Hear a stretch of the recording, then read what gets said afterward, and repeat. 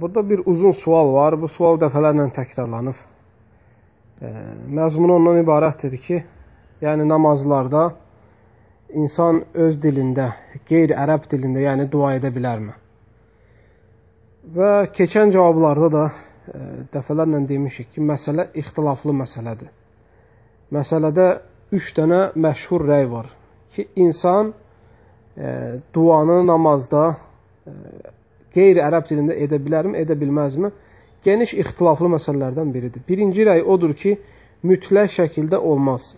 Namaz sözləri, namazda olan bütün sözlərin hamısı ərəbcə olmalıdır. Birinci rəy budur. İkinci rəy var ki, məkruhdur. Yəni namazı batil eləmir insan dua eləsə, lakin bəyənilmir. Üçüncü rəy də var ki, e, əgər icazə, əgər ərəb dili bilmirsə, öyrənməkdən acizdirsə, onda o zaman öz dilində eləyə bilər.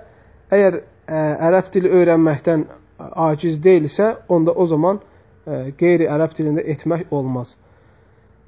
Bu fikirlərin hamısını Şeyxülislam İbn Teymiyyə gətirir İqtida Sıratul Müstəqim kitabında. Həmçinin bir qismini də bu fikirlərin ə, Böyük Fətvalar kitabında zikr eləyir.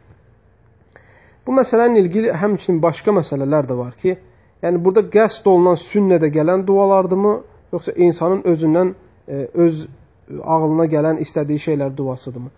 Bəzi elm əhli burada deyir ki, nəzərdə tutulan öz dilində, yəni sünnədə əsli varid olan, e, sünnədə varid olan duaların tərcüməsini, yəni insan öz dilində eləyə bilər. Bəzi elm əhli bunu şərt görür. E, xüsusən də məsələ e, Hənəfilərdə məşhurdur məkruh olmağı ilə ilgili. Çünki Omar ibn Xattabdan əsər var ki, e, Omar ibn Xattab radiyallahu anhu e, bəyənməzdi və yaxud da kərik görərdi e, qeyri-ərəb dilində namazda nə isə deməyi.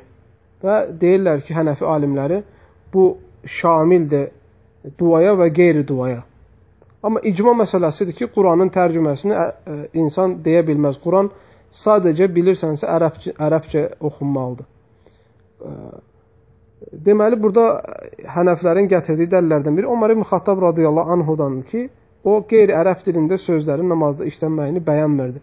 Və bu bəyənmirdi kəlməsində də ixtilaf var Hənəfi məzhəbində. Kimisi deyir ki, yəni bəyənmirdi, o mənadadır ki, namazı batil eləmir, xoşa gəlmir. O birisi deyir ki, yəni ki, mənası odur ki, haramdır.